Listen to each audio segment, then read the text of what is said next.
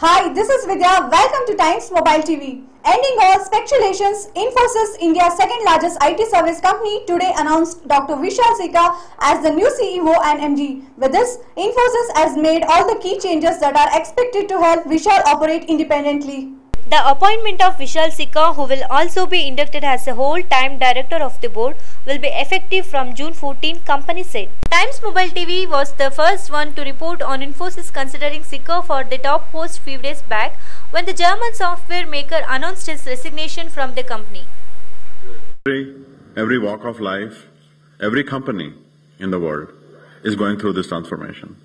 And I really am excited about um, working with all the Infosians, uh, me being the latest member of them, uh, to bring about this, this transformation.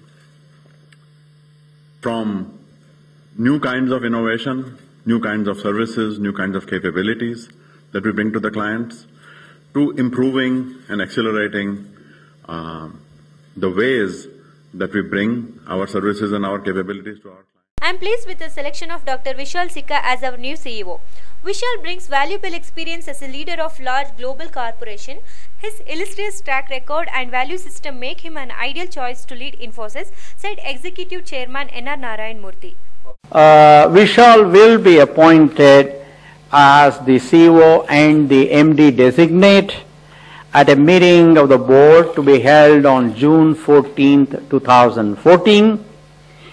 Meanwhile, Narayan Murthy along with Kris Gopalakrishna now Executive Vice Chairman at Infosys will voluntarily step down on June 14, 2014.